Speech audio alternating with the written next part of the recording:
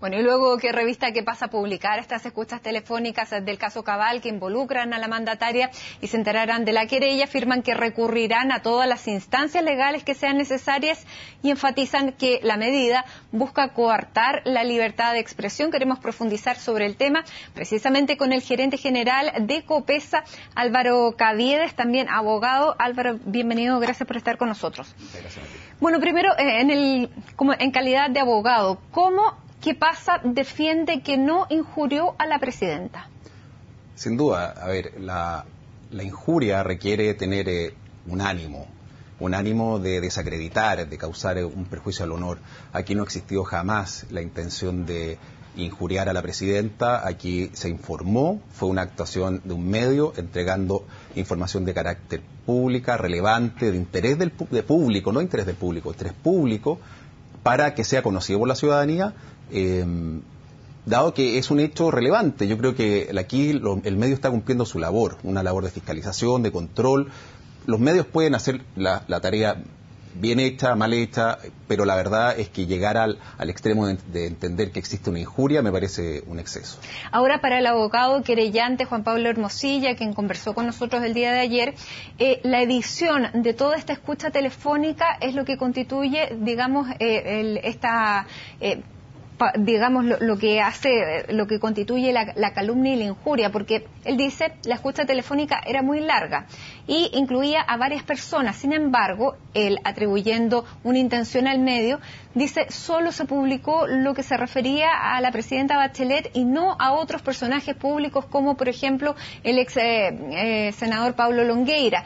¿Cómo se responde a eso? ¿Por qué solamente la presidenta podría, a través de ese argumento, llegar a decir que sí estaba la intencionalidad de afectar a la figura de la presidenta? Para nada, eso es una construcción intelectual bien rebuscada para, para dar esta, esta forma de, intencionalidad. Aquí hay una, un hecho cronológico muy concreto. La versión en papel es lo primero. ahí se, se hace una pequeña sección, se llama Ojos de la Llave de la revista, donde se se hace un extracto de las escuchas telefónicas eh, en, la, parte que el medio consideró que era atingente al caso Cabal que eh, digamos ese es el, punto central. Juan Díaz está involucrado y, está y es parte del caso Cabal. Y es la que se refiere a la, a la presidenta no es cierto por eso se hizo pero es una decisión editorial. Eh, se amplía por internet dado que tiene esta mayor facilidad de Internet de incorporar mayor información, se amplía las cosas que, se, constan en la carpeta investigativa a estas otras referencias que hace el señor Díaz eh, en sus escuchas. Mm, la verdad que eh, entender que hubo una decisión posterior con intención de perjudicar a la presidenta es una cosa bastante poco real. Yo creo que es, eh, a, mi eh, parecer es más bien la estrategia que tiene el señor Hermosilla para lograr configurar lo que él cree que es una, estrategia judicial. Abogado, y eh, da la razón al abogado Juan Pablo Hermosilla el hecho que, que pasa sacara de su versión online esta declaración y dijera que eh, fue reeditada y que no seguía sus estándares editoriales? Para nada. la razón por la cual se hizo eso es que, de acuerdo a los estándares de, trabajo de, de, la revista que pasa, era indispensable que previamente se diera eh, a conocer esto a quienes salían mencionados para que hicieran sus descargos y por lo tanto se hiciera el trabajo periodístico completo. Esa fue la razón por la cual se reeditó con la idea de, terminar el trabajo periodístico y volver a, ponerlo, pero en ningún caso se entiende que aquí existió un trabajo mal hecho, ni siquiera, y menos aún, un trabajo que no correspondía hacer. Simplemente, de acuerdo al trabajo periodístico que tiene la revista, eh, faltaba terminar la forma en que este se, se pone al aire. Por eso se sacó se pidió disculpas, dado que no se había entregado esta información a quienes estaban mencionados, y, se, y la idea siempre era mantenerlo. Tanto así que obviamente lo que está impreso en papel queda, eso no se voy a sacar. Por lo tanto, era simplemente eh, darle eh, un término, redondear el trabajo periodístico en la nota de Internet. Ahora, eh, tanto en la, conversación con el abogado creyente Hermosilla como la presidenta se refirió inmediatamente después de conocido esta publicación, ella habló de un montaje, lo mismo habló eh, el abogado Hermosilla. ¿Cómo reciben ustedes, eh, COPESA, la revista que pasa, que la presidenta los acuse de armar un montaje para perjudicarla? A ver, yo no, primero no quiero recibir esa referencia hacia la revista. Ella habló de montaje, no dijo quién era parte de este montaje. Puede ser que sea un montaje del señor Díaz con alguien y que nosotros simplemente los hayamos recogido. La verdad que yo no me hago cargo porque evidentemente que la revista no es parte de un montaje. Evidentemente que el prestigio de años, de 45 años, la revista que pasa no está para, para eh, este tipo de cosas, menos aún eh, el, prestigio de cualquier medio que basa su, su valor en la independencia, en el trabajo serio, vamos a estar siendo parte de un montaje político. Eso es completamente absurdo. ¿Para ustedes esto coarta su libertad de expresión, la libertad de expresión de su medio, esta querella? Esto, mm, por supuesto, pero más importante aún es la manera, la señal que se da a cualquier medio de comunicación. El trabajo periodístico es un trabajo como pueden tener otros profesionales, pero está expuesto a todo esto. Cuando la máxima autoridad del país eh, se querella, se querella para obtener un resultado concreto que es la cárcel. De hecho, la querella presentada por el señor Mosilla exige tres años de cárcel para las personas querelladas, cuatro periodistas. Cuando la máxima autoridad se querella, lo que está intentando, o, que, o el efecto que eso tiene, aunque no lo quisiera, es que los periodistas van a pensarlo mucho antes de volver a publicar una referencia a la presidenta o a, cualquier persona que ejerce el poder por miedo a la represalia que eso, que eso implica. Yo creo que es una, un atentado grave contra la libertad de expresión, no solamente en la revista, sino a cualquier otro medio de comunicación que hoy día tiene una importancia dentro de la sociedad chilena en revelar y en ah, ejercer el control de, la autoridad. ¿Los amedrenta ustedes? No, obviamente que no. Eh, si nos amedrentara, eh, nos habríamos eh, inmediatamente restado de lo que estamos haciendo. Al revés, creemos y, creemos firmemente en la libertad de expresión.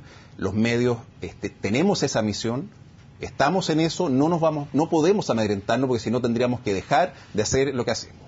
Ahora, si la presidenta efectivamente a través de esto quisiera dar una señal para que los medios de comunicación eh, tuvieran este efecto de autocensura y lo pensaran una segunda vez antes de publicar cualquier cosa, eh, ¿usted cree que eh, no busca la cárcel, sino que busca dar esta señal y que se podría llegar a un acuerdo entre los abogados de las partes? A ver, primero, a mí me llama la atención que la, presidenta, el abogado Hermosilla y, y, los ministros hablen que esto busca restablecer la ética periodística y, hablan sobre eh, una cosa de forma, ¿no es cierto?, respecto del trabajo periodístico. Pero la querella no tiene ese, fin. La querella tiene por objeto obtener la sentencia condenatoria de los cuatro periodistas que están querellados y ojalá, y, de acuerdo a la querella, obtener los tres años de cárcel. Em, por lo tanto, yo, yo, a ver, yo me, eh, obviamente que las oportunidades para conversar, eh, siempre están. Yo creo que es absurdo que cada parte se aleje de cualquier posibilidad de conversación y de acuerdo. Tendrá que ser del proceso eh, en que estamos, en la querella, y, obviamente que, nuestro medio siempre está dispuesto porque no tiene ningún interés en que esto se transforme en una, en una batalla entre, entre el gobierno y un medio de comunicación. ¿Estarían dispuestos, por ejemplo, entonces a, pedir perdón o retractarse de esta publicación? Es que no hay nada de qué retractarse. Lo que hay, el medio ni siquiera emitió una opinión. El medio simplemente expuso parte de una carpeta investigativa. De hecho, el, propio ministro Díaz y, el, y, el, subsecretario Alewi lo dicen. Esto, eh, la, todo el tiempo hay filtraciones de las carpetas investigativas. Es primera vez que nos encontramos con una querella de este tipo. Por lo tanto, una retractación sobre qué, si nosotros hicimos nuestra labor, la hicimos bien hecha. No veo todavía en qué podríamos retractarnos. ¿Y entonces en qué base se podría llegar a un acuerdo? Tendría que plantearlo la propia presidenta. Ella es la que está querellando, querellándose contra los periodistas, ella tendrá que plantear qué podría ser satisfactorio para ella. Nosotros no, no hemos escuchado, ni siquiera nos han notificado la querella, tenemos conocimiento de, parcial de ella, sobre todo por las propias declaraciones de, de quienes la han presentado, pero ni siquiera se ha iniciado el proceso judicial. Por lo tanto, mal podríamos eh, saber qué, cuáles son las bases de, una conversación con, la presidenta. Ahora, eh, en el entorno de la presidenta, lo que se dice es que la revista, ante una acusación así, debió contactarla o contactar eh, a su entorno para saber y, obtener un descargo. ¿Ustedes lo descartaron? No, de hecho, como, como le mencioné antes, es parte del proceso de trabajo periodístico. ahora, ¿Por qué no se hizo en este caso? En este caso probablemente por, porque las, eh, acuérdense que esto se hizo en, los cierres de la revista y la, y la trabajo periodístico es de una velocidad eh, importante y, la verdad que eso es un, eh, lo, que, lo que usted dice es correcto en un trabajo probablemente completo. Eh, ahora, no es obligación del medio, es una, es una labor periodística más fina, ¿no es cierto?, mejor hecha, pero no quiere decir que, no hacerlo implique que, estamos cometiendo un delito.